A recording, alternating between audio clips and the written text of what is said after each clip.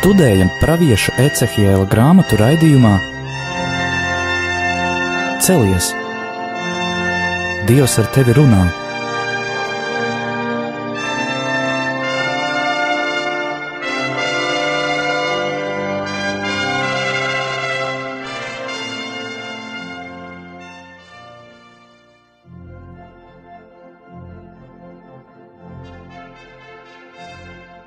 Slavēts Jēzus Kristus. Mūžīgi mūžos slavēts. Studijā ir Stela, Un Anģela. šodien turpināsim lasīt praviešu Ecihila grāmatu un mēģināsim saprast, ko tā pasaka mūsdienu situācijā un vai tas, par ko viņš brīdināja, jau gūstā aizvesto izradzēto tautu, attiecas tikai uz tā laika vai antīkās pasaules notikumiem, vai kaut kā skār arī mūs. Pagājušajā reizē mēs lasījām, kādu zīmi pravietim liek rādīt Dievs cilvēkiem, ka šī galva jānoskuj plika, te var piebilst arī, kad noskūta galva, tā laika Izrēlī bija gan apkaunojums, gan dziļu sēru zīme. Tātad tauta ir situācijā, pa kuru šis cilvēks, pravietis, sēro. Bet tālāk, gan šai piektā nodaļā, gan arī sestajā un septītajā, visu laiku Dievs runājot uz pravieti, atgādina, teikt tādos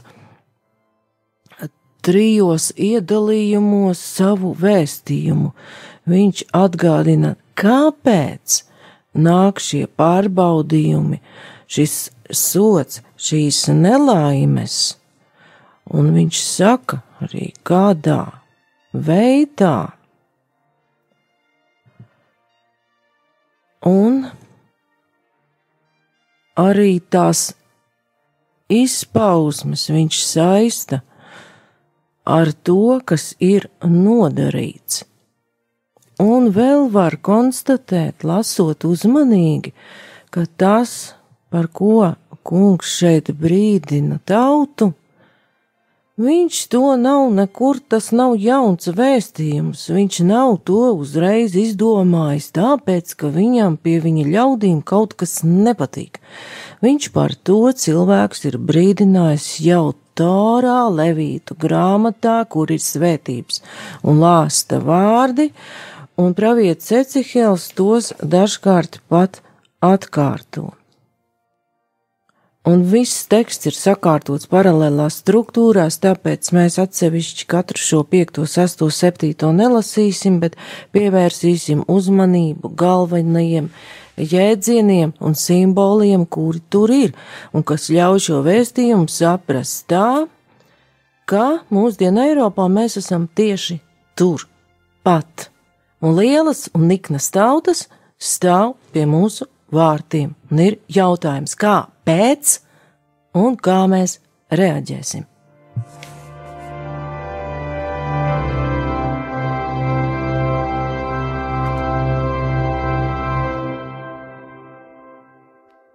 Tad kāda galvenā nelaime tad ir? Pie šīs tautas, kādu vainu redz? Kungs, ka nāk šī sodība, un varam atkal un atkal sev un citiem atgādināt, ka tas nav tāds sots, kā nereti vecāki bez iemesla var paņemt platu cūkādu siksnu un to bērnu vienkārši iemizot, jo viņam ir slikts garstāvoklis. Dievs atgādina likumu, kuru viņš ir devis jau daudzus gadsimtus atpakaļ, un kura ievērošana tautai dāvās svētību. Un viņš saka, Ecehela grāmatas 5. nodaļā, 5. 6. pantā. Pēc tam saka visam Izraēla namam, tā saka Dievs tas kungs, tāda ir Jeruzaleme. Es to ieliku citu tautu vidū, un tai visapkārt ir citas zemes, bet tā maniem baušļiem izrādīja ļaunāku pretestību nekā citas tautas, un pretojās maniem likumiem vēl nepiekāpīgāk nekā citas zemes tās apkārtnē.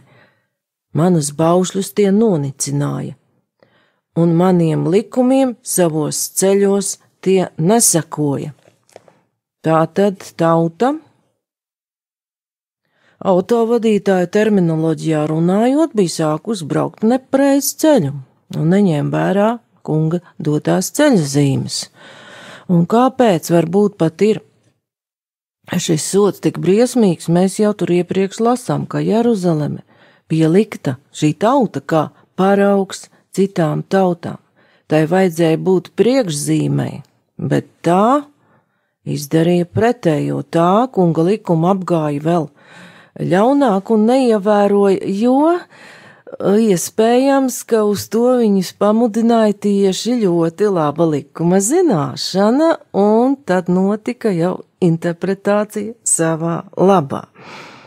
Un es varbūt mazliet atgādināšu, atkārtotā likuma grāmatā par to, ka kungs svētīs savu tautu par ko, un kad tu klausīdams klausīsi tā kunga, savu dieva balsi, un turēsi visus viņa baušļus, ko es tev šodien pavēlu, tad tas kungs, tavs dievs, tevi jau augstus cels par visām zemes tautām, un par tevi nāks visas šīs svētības, un tas tevi piepildīsies, jo tu būsi klausījis tā kunga sava dieva balsī. Svētīts tu būsi pilsētā, un svētīts tu būsi uz lauka, un tā tālāk. Paldies! Un uh, var saprast, un to arī Bībeles pētnieki zina, ka atkārtotā likuma grāmata tik tiešām atkārto likumu, nostiprina to cilvēku sirdīs un prātos, un arī šeit uh, tas, ko Anģela izlasīja, attiecas uz Levīta grāmatas svētības vārdiem, bet tajā pašā Levīta grāmatā ir jau 26. nodaļa arī 14. pants, ka Bet ja jūs man neklausīsiet un nepildīsiet visus šos baušļus, un ja jūs mans likums nicināsiet, un jūsu dvēseles mans tiesas niecinās, nepildot visus šos baušļus, tad jūs lauzīsiet manu derību. Tātad Levīta grāmata paskaidro tuvāk kā likuma krājums, kas tad notiek. Ir šī atkāpšanās no baušļiem, tiek lausta derība ar kungu, Un tad seko tas, par ko runā pravietis Ecehils un mēģina sasniegt savas tautas ausis un sirdi, gan runājot, gan ar dažādām zīmēm.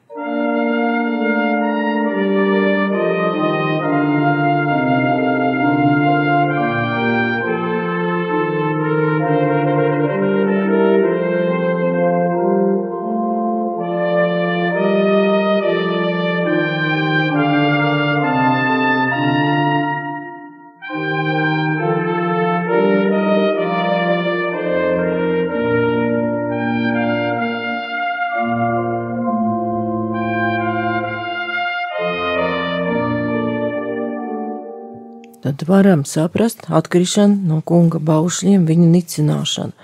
Un tā var izpausties ļoti dažādos veidos, šī pretestība. Un pravieša Ecehila grāmatā viņš runā arī par to, kā tā ir izpaudusies, un kā tā parādās, un to var saprast gan tiešā veidā, gan arī kā simbolus lietām un darbībām, kas notiek līdz pat mūsu dienām. Ko mēs varam lasīt pravieša Ecihela grāmatā, 5. nodaļā, 9. 11. pāns, un tur ir krievu vārds tāds, kas ir pat asāks. 5. nodaļa, 9. varam pat 10. un 11. 9. 11. Labāk 10. izlaidīsim, ja tas attiec jau uz citu mazliet.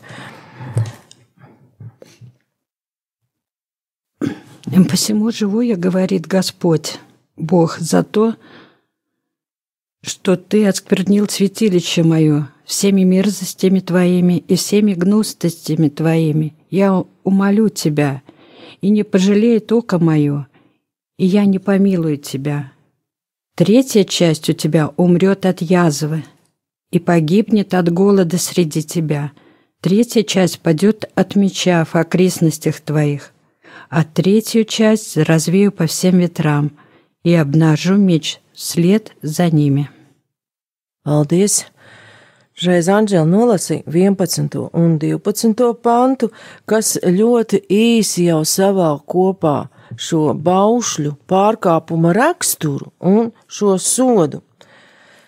Tātad, kas ir noticis? Ir apgānīta kunga svētā vieta, visādu negantību, bet krievu merzests ir tāds asāks vārds. Viņš vairāk pasaka šo negantības, to nelietības tādu garīgu pārkāpumu raksturu, kad ir tieši apvainots dievs, šis vārds to pat labāk izsaka. Viņu pat ir ļoti grūti pārtulkot latviešu valodā, un tāpēc arī labprāt gribu, ka Anžela lasa krieviski.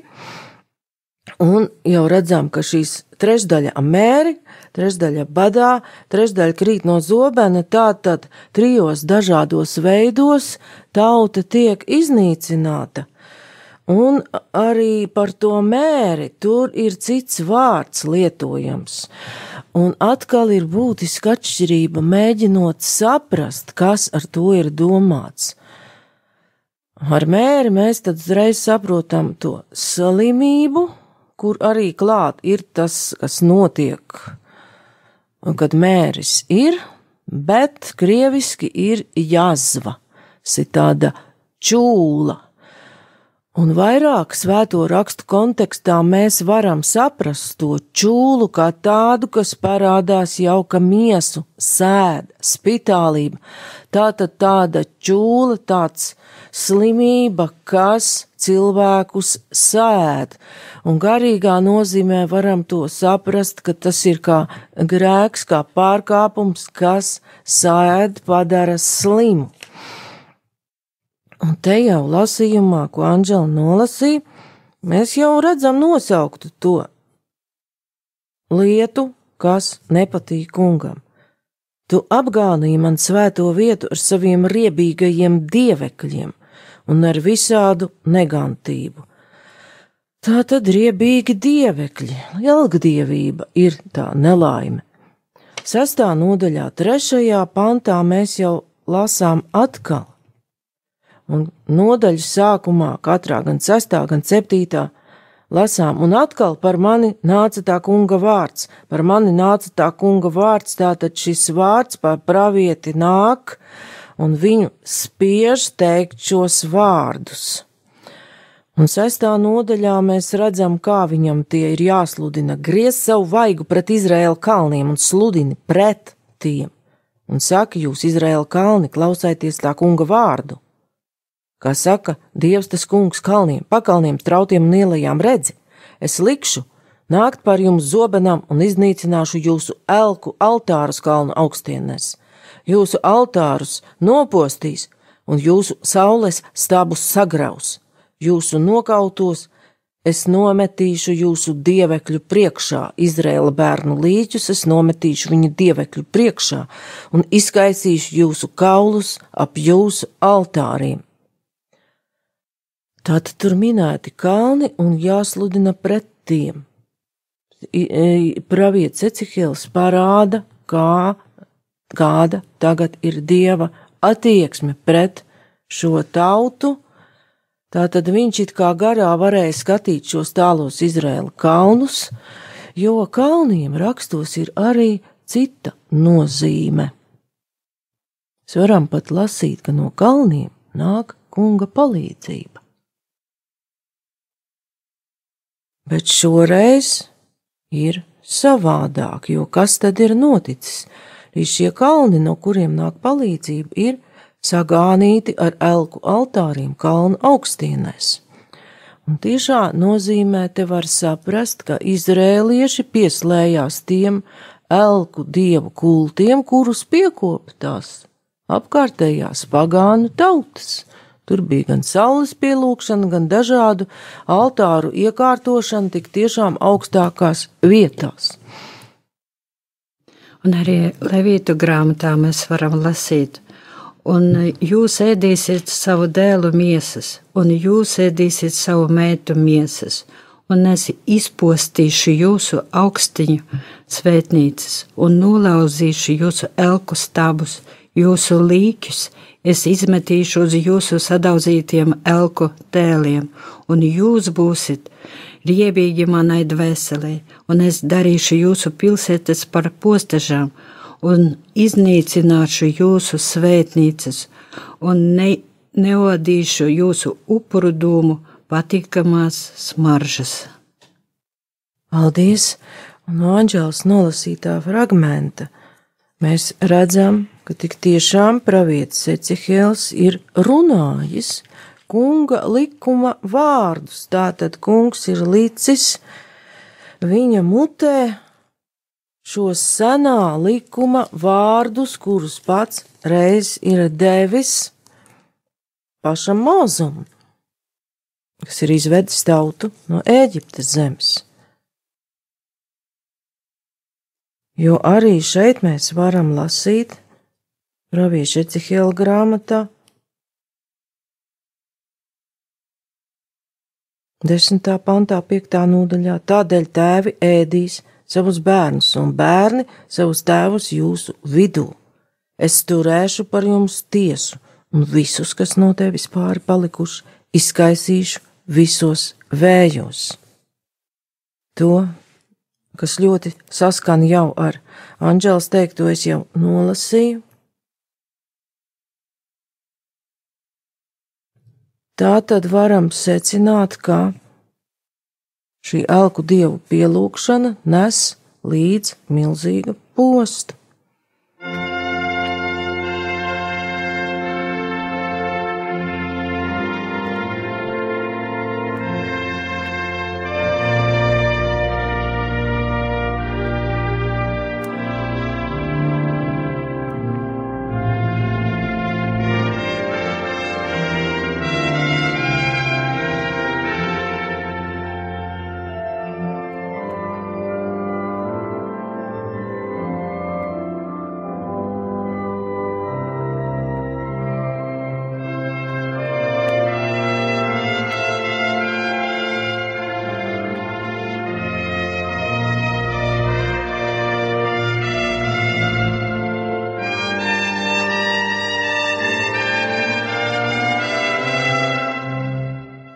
Kā vēl vairāk un labāk varam izprast šo tekstu tieši saistībā ar elgdievību, tur jau lielāku skaidrību dod septītā nodaļa. Kas tad bija tie elki, un tur jau šis teksts ļauj to tieši sasaistīt pat ar mūsdienām. Septītā nodaļa Ecihela grāmatā no 19. panta. Savu sudrabu tie metīs uz ielas, viņu zelts tiem būs kā mēsli, jo viņu sudrabs un zelts tos nevar izglābt tā kunga dusmības dienā. Ar to tie neremdēs savu izsalkumu un nepiepildīs savu vēderu, jo zelts tiem bijis par apgrēcību. No tā darinātās rotas ir veicinājušas slepnību, un tie darināja no tā savus neģēdzīgos dievekļus, savus riebīgos elku tēlus. Tamdēļ es viņiem zeltu padarīšu līdzīgu mēsliem. Un 24. pants, 7. nodaļā es atsaukšu niknākās no citām tautām, tās ieņems viņu namus. Vara no lepnībai es darīšu galu, viņu svētnīcas tiks sagānītas. Redzam, ka te ir minēti zelts un sudrabs, tādi galvenie cilvēki iecienītie dārgmetāli. Un algdīvība jau izredzētai tautai nebija nekas jauns. Jāceras, ka viņa tika izvesta Mūzes vadībā no Eģiptes zemes, un arī Ābrahāms izgāja no senās Mezopotāmijas civilizācijas, kur visur šī algdievība bija. Un varam atcerēties, kas notika, ka Mūzes ilgi kavējās kalnā sarunā ar Dievu. Viņš nāk zemē ar kunga likumu rokās. Izradzētā tauta jau ir atradusi citu likumu, visi danco ap zelta teliņu, jo tas lūk ir tas, kas izveda no Ēģiptes zemes. Un šeit ir tā problēma, ko arī redzam tekstā, Ecihēla grāmatā, ka cilvēks ātri iet pie tā, ko viņš var redzēt, redzams, elks. 36. nodaļa 9. pants Ecihila grāmatā. Tur ir runa par kādiem pāri palicējiem, kuriem būs iespēja tomēr atrast atkal kungu.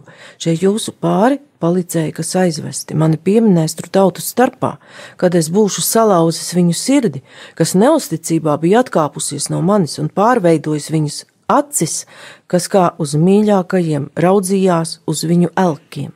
Tad tiem pašiem riepsies tas ļaunums, ko tie nodarījuši ar visām savām negantībām.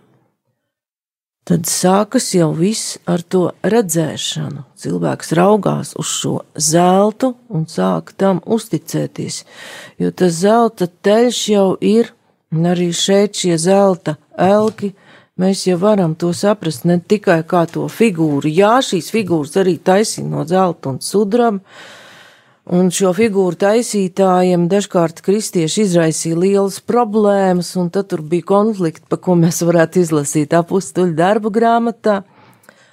Tad galvenokārt tie simbolizē paļaušanos uz savu materiālo varenību, uz bagātību, sturību, uz to, ko cilvēks savām rokām godīgi, ļoti daudzas reizes arī negodīgi ir ieguvis. Un Ecehila grāmatā kungs brīdina, ka tas viss paliks par mēsliem, un ka tāds šis process ir šīs sekas atkrišanai no likuma visām tautām un civilizācijām līdz laiku beigām. To mēs varam saprast, ja paskatāmies svēto rakstu pēdējā grāmatā, kas tad paliek pāri no visiem tiem ekonomiskajiem likumiem, kurus mēs cienam un godājam un ceļam lielās augstienēs. Atklāsums grāmatas 18. nodaļā, 11. 12. pantā vizionārs Jānis par to visu saka, par varano pilsētu Bābeli.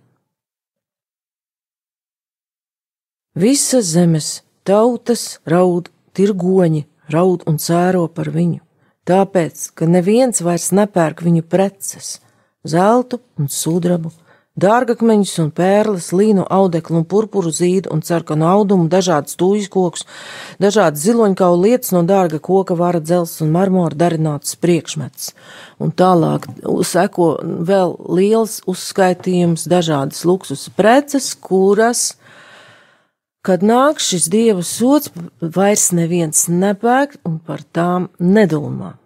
Arī Mihas grāmatā praviša e, ir teikts, ka uh, Dievs griežās pie savas tautas un uzrunā viņu, ko es esmu tev nodarījis, mana tauta, un ar ko es tevi būtu apkaitinājis. Atbildīja man to, es taču izvedu tevi no Eģiptes zemes un atsvaibināju tevi no tavas verdzības nama un sūtīja tev pa priekšu mūzu, Āronu un Mirjamu.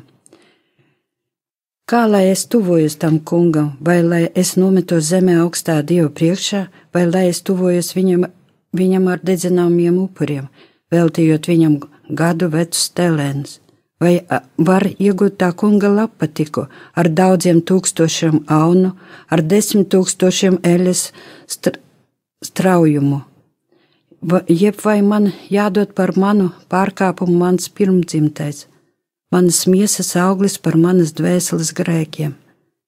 Tev, cilvēki, ir sacīts, kas ir labs un ko tas kungs no tevis prasa, proti, darīt taisnību, mīlēt žēlastību un pazemīgi stāvēt sava dieva priekšā. Paldies! Un no Anģēlas lasītā teksta mēs varam saprast, ka par šo elgdievību augstienēs un negantību templī var kļūt pat ārēji, pareizs kults, ka rituāls pat ir izpildīts atbilstoši priekšrakstiem, bet tajā nav šīs žēlastības, un tajā nav šī pievēršanās kungam, jo arī ārēji pareizi izpildot rituālu cilvēks var domāt par visu, pavisam par ko citu, kā Jēzus saka farizējiem, kuri brīnišķīgi zināja likumu, mazgāja pareizi, rociņas ēda pareizi, visu darīja pareizi, sēdēja pirmās rindās ar gariem pušķiem un lūdza Dievu pareizi, lūdza uz ielas stūriem. Bet kāpēc tu viņi to darīja? Tur tik pareizi un skaisti ar lūkšanas ciksnām, un viss bija kā nākas, lai citi redzētu un viņus cienītu. Tā tad jau viņi paši sevi bija uzlikuši kā elku stabu.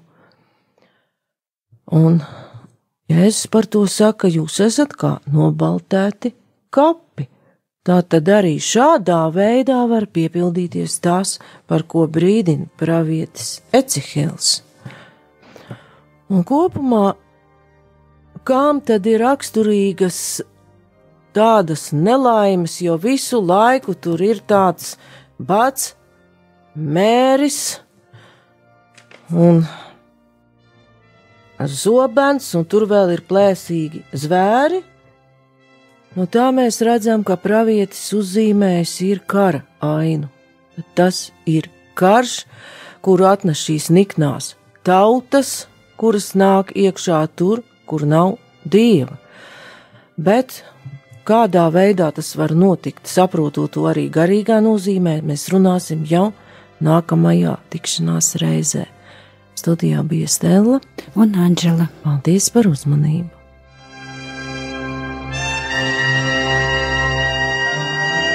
Izskanēja raidījums